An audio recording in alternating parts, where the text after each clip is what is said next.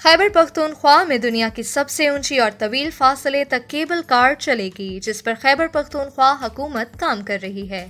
अपर देर से लोअर चित्राल तक 14 किलोमीटर का फासला तय करेगी। Cable car Kumrat upper Dir से मदाकलश्त लोअर चित्राल तक तामीर की जाएगी, जिसकी कुल लंबाई 14 किलोमीटर होगी।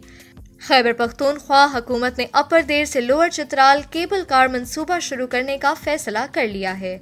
वज़ीर अला खैबर पख्तूनख्वा महमूद खान की जेर सदारत महकमा सियाहत का अजलास में केबल कार मनसूबा शुरू करने का फैसला किया गया है। इजलास में मनसूबे की फिजिबिलिटी स्टडी और इंजीनियरिंग डिज़ाइन पर काम शुरू करने की मंजूरी भी दी गई है।